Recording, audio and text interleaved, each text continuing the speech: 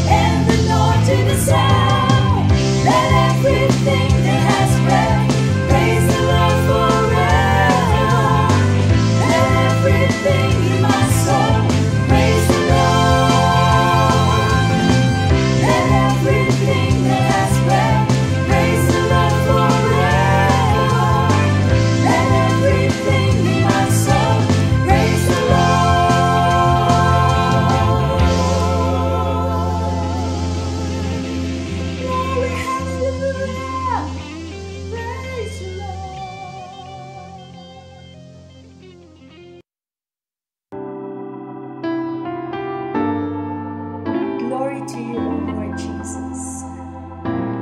Our hungry and thirsty souls find satisfaction and wholeness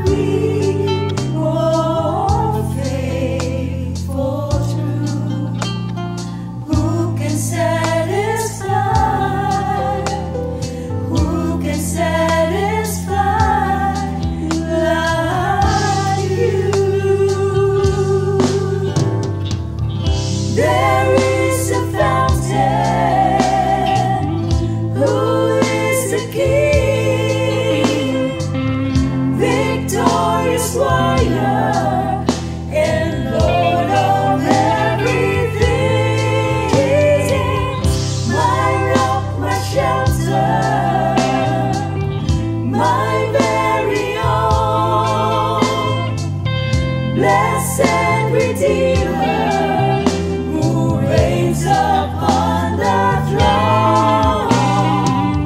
There is a fountain who is a king.